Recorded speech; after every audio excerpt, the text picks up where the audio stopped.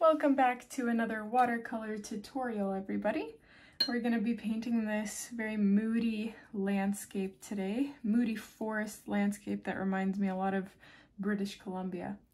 So we're going to start with our piece of paper in portrait position and I've taken my mop brush just to apply a wash, a background wash. And I just took a bunch of greens mixed together with a little bit of black. It doesn't really matter what color it is as long as it's faded, like it's very, very uh, translucent and wishy-washy as I like to call it. And uh, like we don't want to use red, but earth tones. So anything grayish, greenish, bluish will do, brown, even a little bit of yellow would be fine, but you're just covering your whole piece of paper in that wash. And uh, this photo, I found it on Pinterest. I don't know who the author is, um, so I don't know who to give credit to in the uh, in my description box. So if anybody recognizes this, and knows who it came from, then by all means comment so I can add it to the description.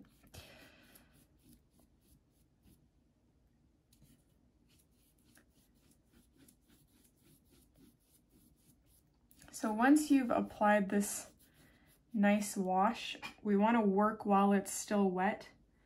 So I'm grabbing my size 14 Grumbacher brush and I'm using just uh, a combo of greens mixed with a little bit of black to darken it. And I'm just um, painting these swoops upwards and then they're gonna like go down diagonally like this. Not diagonally, sorry, um, downwards, that's what I meant to say. And I'm just gonna tilt my piece of paper upside down to allow that ink or the color to kind of bleed downwards.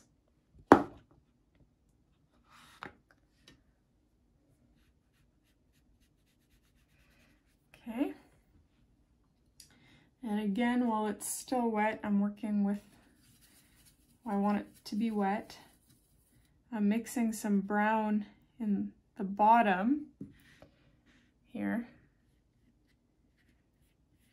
just across my page.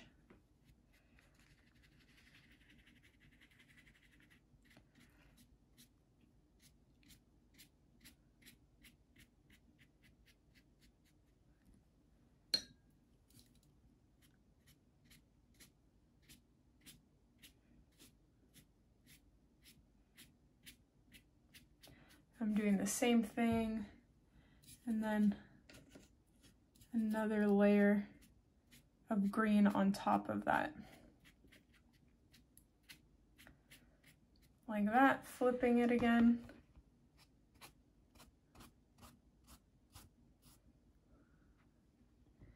And letting that watercolor run downwards for a moment.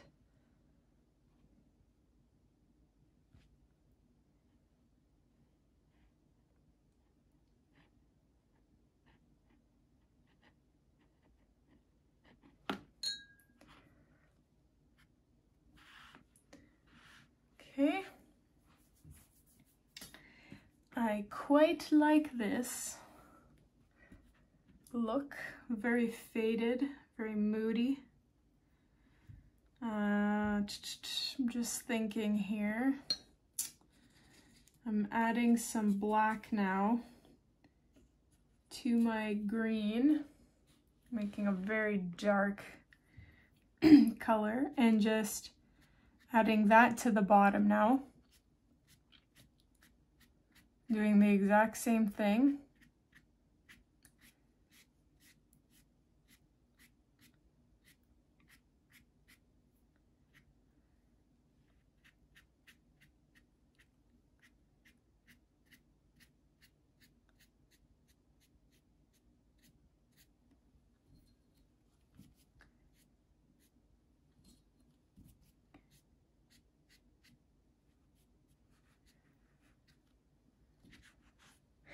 And again, flipping it upside down, letting that droop. I'm just, I want to make my bottom super dark. and that's why I keep adding darker and darker pigments to the bottom there. And I have cotton paper. I'm using cotton paper so it can handle that, all that moisture. And because it was wet, it faded into this, you know, beautiful mystic situation here. Now this part of my piece of paper is already getting pretty dry, so I'm trying to work quickly here because now I want to add something on this side as well.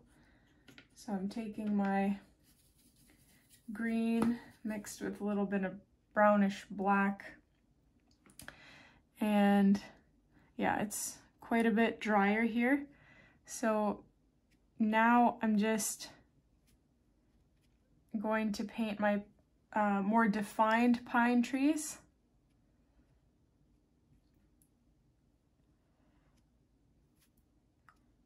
And these aren't really painted in a style that I usually paint pine trees. It's a lot more abstract, but as a result, it looks really neat. It looks like uh, more realistic in an abstract way. I know that doesn't make very much sense, but uh, at least that's the impression I get from it. So I'm just mixing a variety of colors and and black and whatever into it until I'm satisfied with the color that I'm using.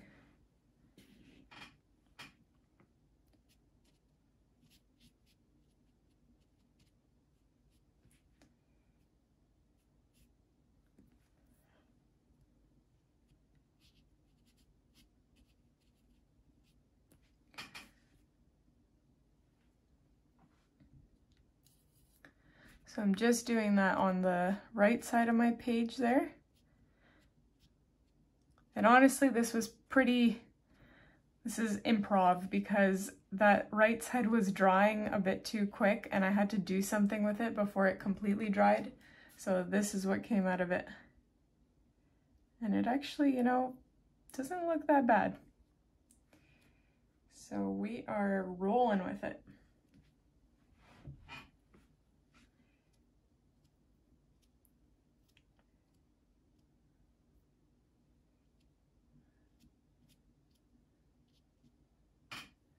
Okay, now I'm going to paint something similar on this side. Uh, I'm to use a little bit of brown mixed with black just for the trunk. And this part's still wet, which is nice. Um, just trying to think here what I'm going to do.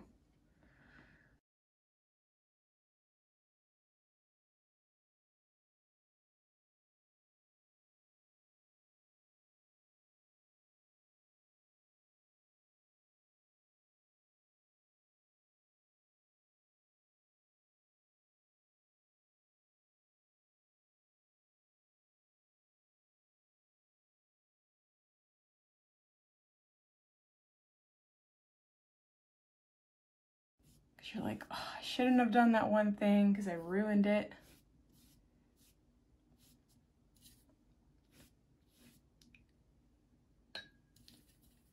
But we're going to try to salvage this.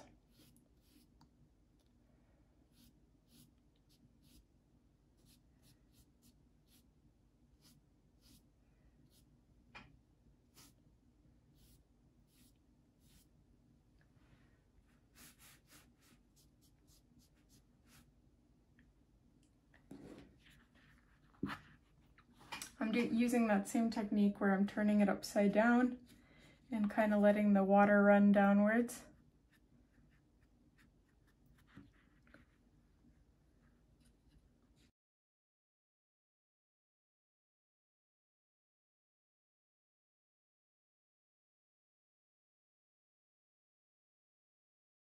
I'm gonna go over this tree that I painted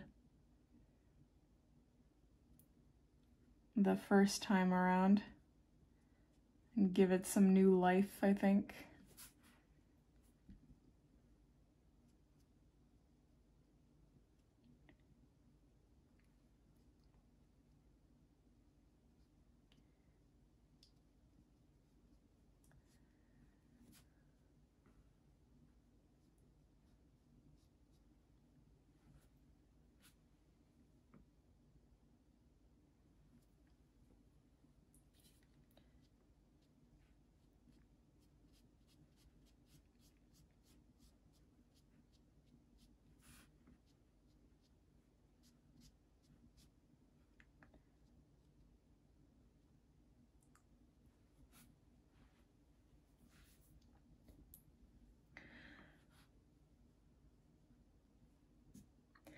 All right, all right. It's not totally destroyed yet. So I'm gonna just take a smaller brush here and try to draw a, or not draw, paint a pine tree that is faded out a little bit. It's going to sort of blend in to the background.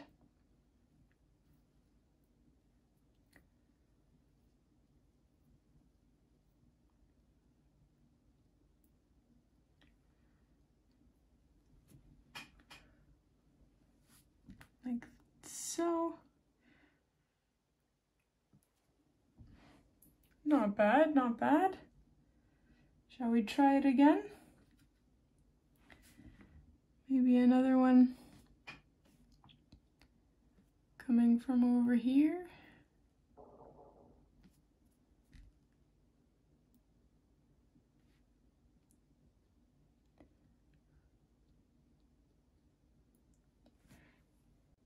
Lot of my tutorials, especially, you know, these, these, uh, moody pine tree ones, I don't really know what I'm going to paint ahead of time, even when I'm using a reference. Um, it ends up looking not like the reference at all. Like I just kind of make it my own. And that's what happened here because, you know, like you see something, you're like, oh, that would actually look really great if I added that. And then most of the time it works, but sometimes it does not. And this was one of those times where unfortunately it did not work in my favor. Um,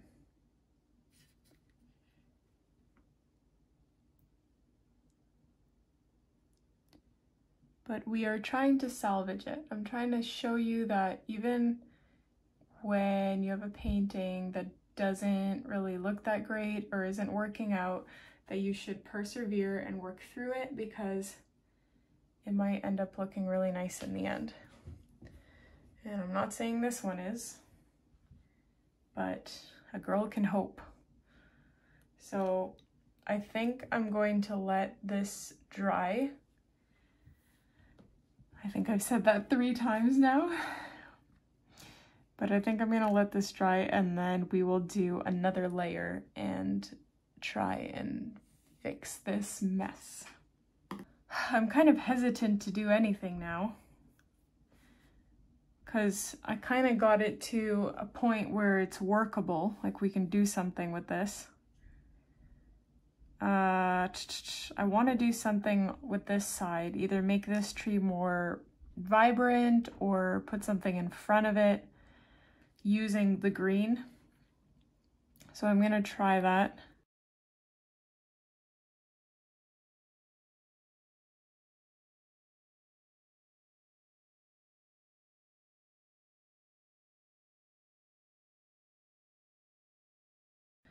Oh, the thing is, is I want to create like a, a washed out area now. So that this tree kind of fades into the background or begins to. So I'm just adding some water here to create a gradient all the way down to the page so that we prevent the cauliflower effect. And now I'm going to try to fade this out naturally.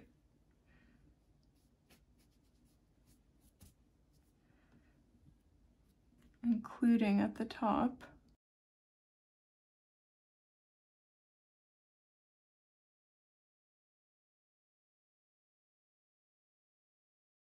Okay, I'm going to try to salvage this now by painting another tree there. If you can't tell, I'm starting to get pretty frustrated.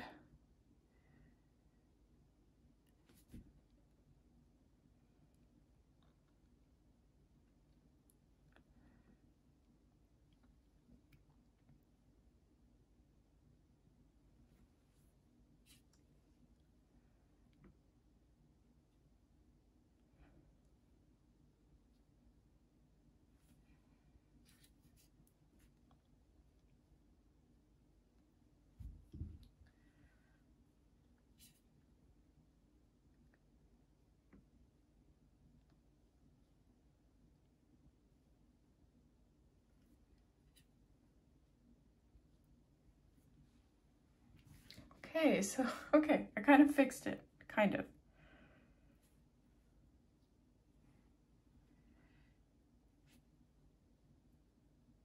think I'm gonna leave it before I do anything else to that. But that's looking better than it was, so we're okay there. Um, now I'm going to add some trees to the left side.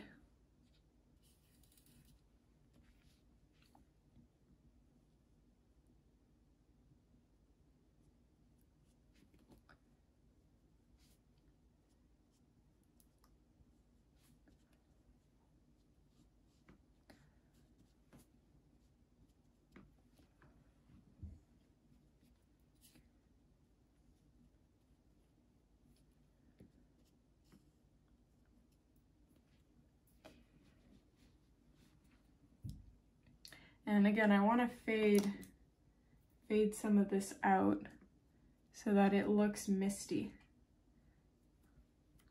So I painted it on very pigmented and I'm just taking a brush that's been watered down and I'm spreading out that pigment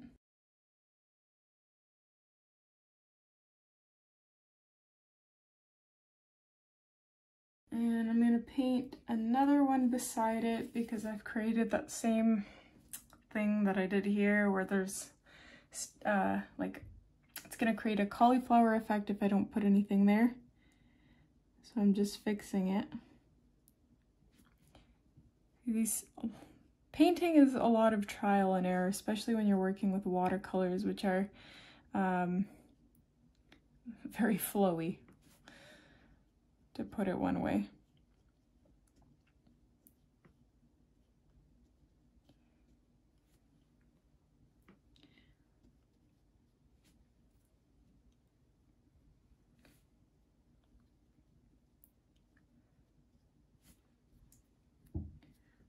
There we go. We have that mist continuing through the next tree. Like so.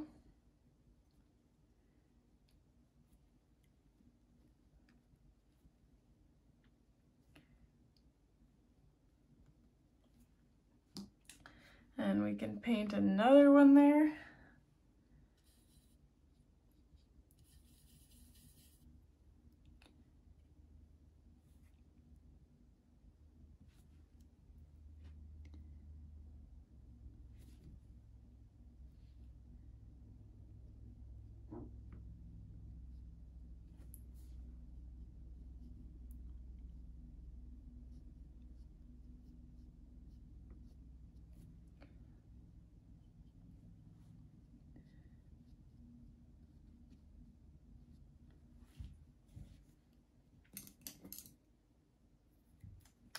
And spread that out as well. Continuing that mist through the trees.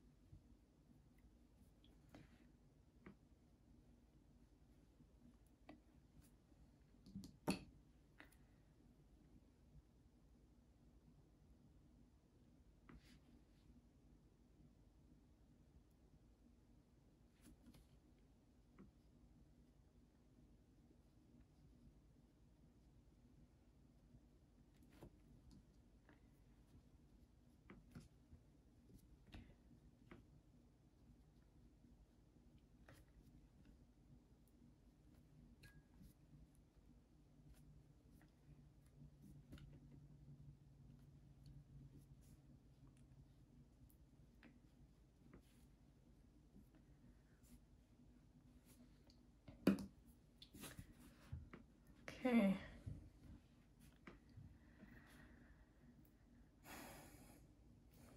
I'm kind of hesitant to do anything more. I like how this turned out, but it, it's missing something in the in the uh, foreground here, I think. Um, so I'm very tempted to add some more color here and then do the slanted thing again. So here I'm loading up my paintbrush with uh, water and pigment and I'm letting it slope downwards. Sorry, it's kind of hard to show this when I'm holding it downwards.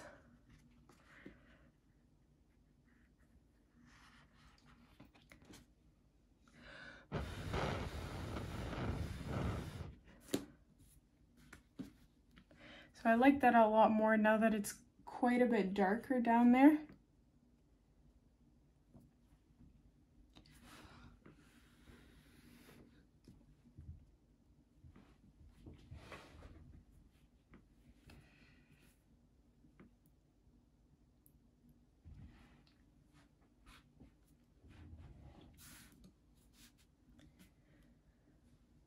Okay, I think I am going to leave this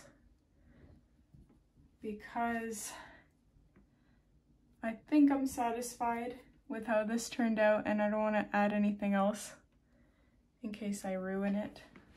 Um, actually, as I say that, I'm going to add something else.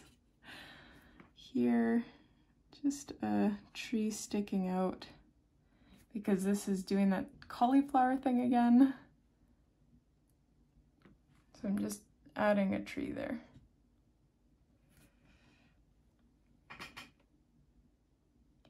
Maybe one more here.